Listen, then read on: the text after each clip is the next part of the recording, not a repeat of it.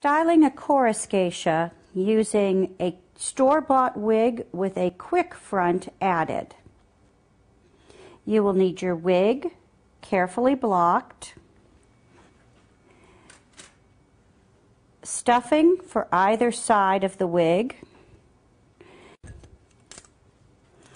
two combs,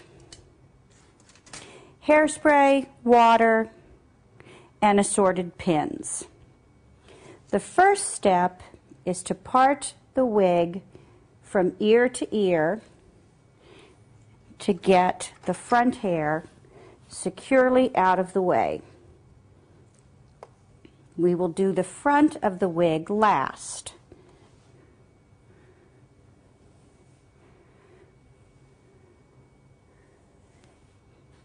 Make sure to do this symmetrically. Geisha wigs are symmetrical, so you need to be thinking about that when you section the hair from the very beginning. All of the geisha hair will end up going into a knot on the crown of the head. Begin your style by making a secure tie that everything else will connect to.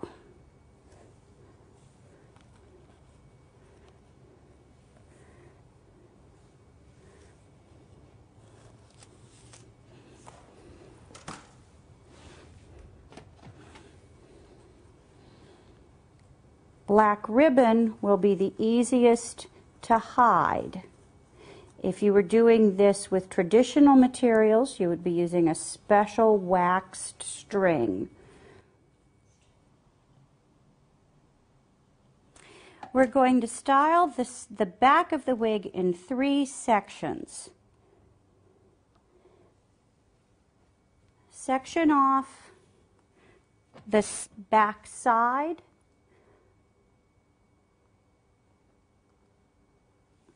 leaving a two to three inch strip of the center back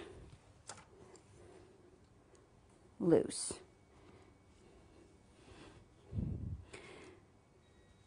Place a small pad of stuffing so that it reaches just past the nape of the wig and secure with bobby pins to the wig foundation. Make sure that the very bottom is secure as well as the top. Your finished style is only as stable as each step.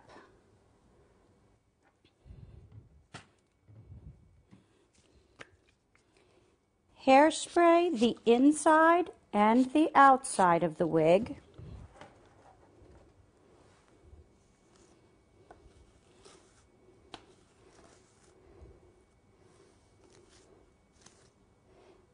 Fold the center back up over the stuffing and secure to the same bun tie.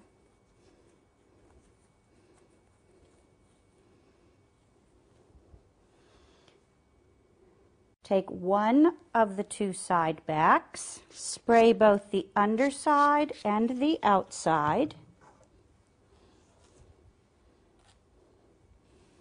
We're going to drape this, and it can be very helpful to have several combs to help hold this in place. They act as an extra set of fingers, keeping the hair pulled down while you smooth the remaining hair up into place.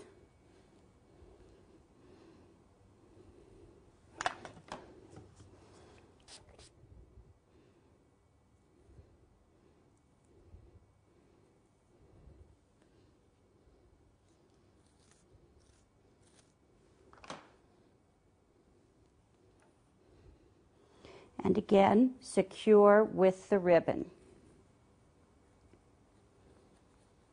We will repeat that on the opposite side.